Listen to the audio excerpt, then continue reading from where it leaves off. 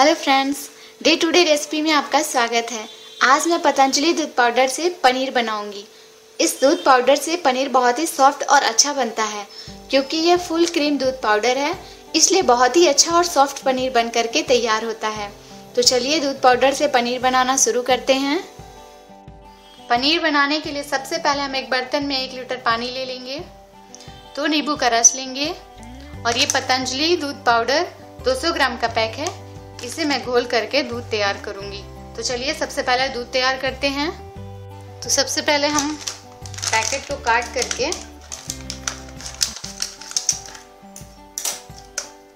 दूध निकाल लेते हैं कटोरी में।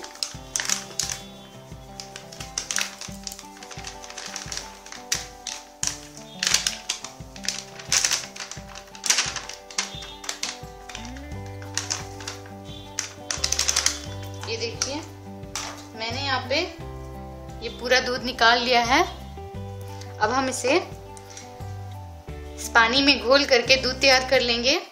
अब दूध बनाने का वीडियो अच्छे से पूरा प्रोसेस हमारे चैनल पर देख सकते हैं।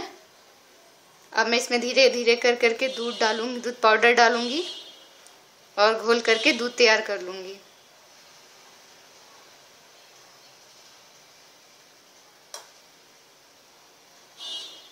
इसमें हम ऐसे ही दूध पाउडर डाल डाल के थोड़ा थोड़ा और इसे अच्छे से घोल लेंगे। और दूध घोलने में कभी भी हड़बड़ाए ना, क्योंकि दूध थोड़ा धीरे धीरे घुलता है, वो भी ठंडे पानी में हम घोल रहे हैं इसे। तो आप कोई बड़ा स्पून लें और दूध जो इसमें डालते हैं उसे धीरे धीरे किनारे ले जाएँ और बर्तन से चिपका करके चम्मच के पिछले वाले भाग से हम ऐसे रगड़ते हुए इसे घोलेंगे तो दूध हमारा जल्दी घुल जाता है। कि हमारा थोड़ा सा और दूध रह गया है। अब इसे भी हम पूरा डाल लेते हैं। सभी को अच्छे से हम इसे घोल लेते हैं फिर से।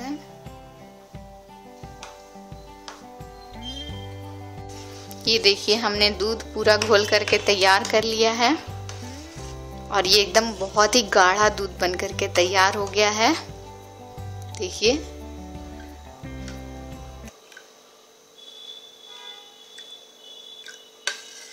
अब मैं इसे गैस पे रखती हूँ। मैंने दूध को गैस पे रख दिया है और अब गैस को ऑन करेंगे और मैंने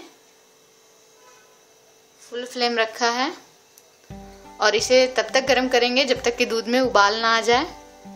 और आप इसे लगातार देखते रहें, नहीं तो दूध गिर भी सकता है क्योंकि फुल फ्लेम पे है। ये देखिए, हमारे दूध में उबाल आने लगा है। अब हम गैस को ऑफ़ कर देंगे।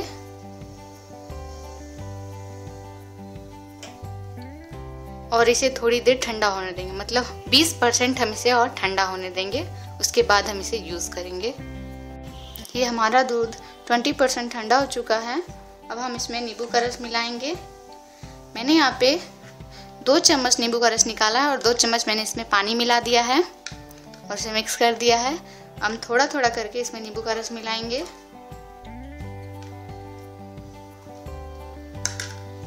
और इसे चलाते रहेंगे।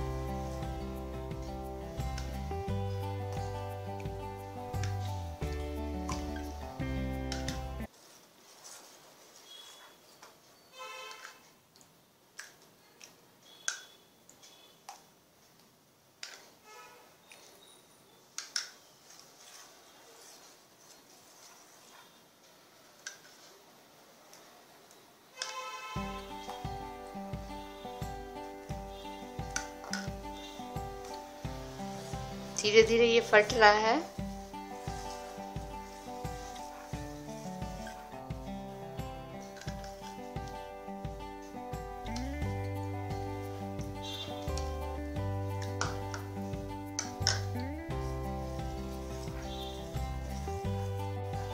आप देख सकते हैं, हमारा छेना फट गया है और पानी अलग हो गया है।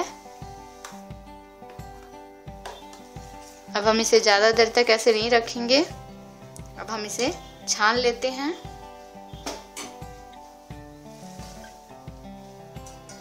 सबसे पहले एक बर्तन लेंगे, उसके ऊपर एक छलनी रख देंगे और एक कॉटन का महीन कपड़ा ले लें। और इसमें हम अब इसे छान देंगे।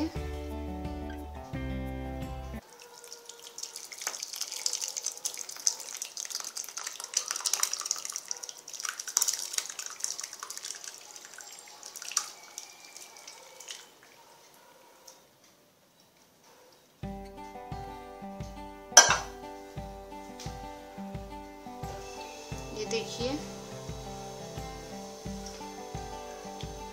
पानी हमारा निकल रहा है अभी भी। धीरे धीरे इसे पूरा अच्छे से ले लेते हैं।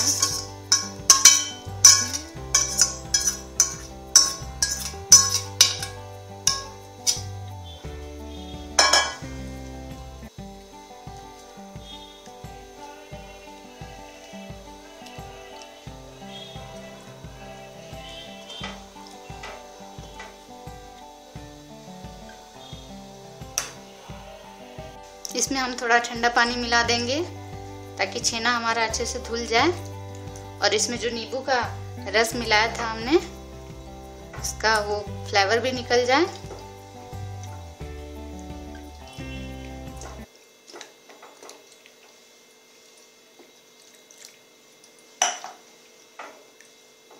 ये देखिए।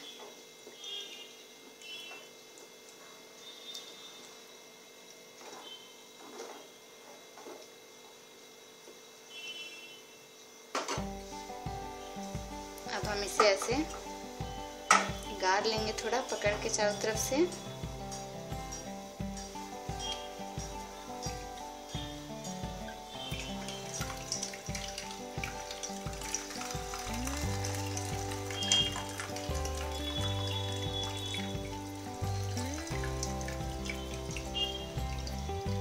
इसका पानी हम अच्छे तरह से गाड़ देंगे या फिर किसी बर्तन के ऊपर रख करके और चकले से हम दबा देंगे ताकि इसका पानी अच्छे से निकल जाए।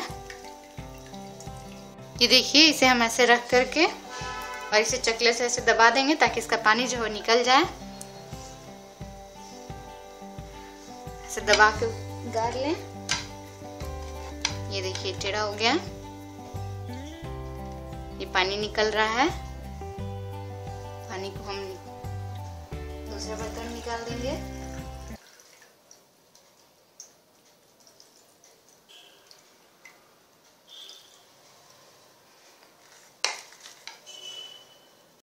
अब हम इसे निकाल करके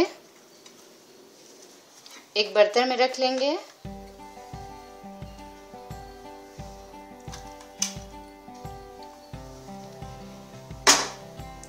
ये देखिए, हमारा कितना सॉफ्ट पनीर बनकर के तैयार हो गया है। इसे आप अभी ना काटे, थोड़ा ठंडा हो जाने पर काटिएगा, ताकि ये अच्छे शेप में कटेगा।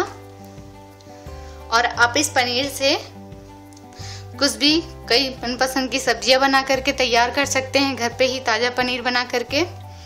या फिर आप इसे ऐसे भी चीनी मिला करके खा सकते हैं, वो भी स्वादिष्ट लगता है।